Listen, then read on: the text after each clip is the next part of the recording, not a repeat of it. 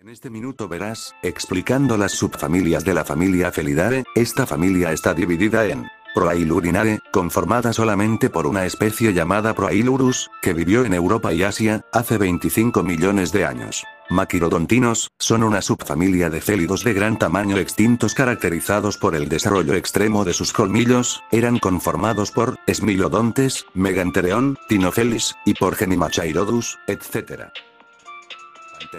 son una subfamilia de felidos de gran tamaño, conformados por tigres, leones, leopardos, jaguares, entre otros. Felinae, esta es la familia más pequeña de estos géneros, y a su vez la más extensa, teniendo a ratos domésticos, ratos salvajes, linces, guepardos, y el más grande de esta familia, el puma, coronándose como el gato más grande del mundo. Mi subfamilia favorita fue la de los marquiodontinos, al ser uno de los más grandes que habían.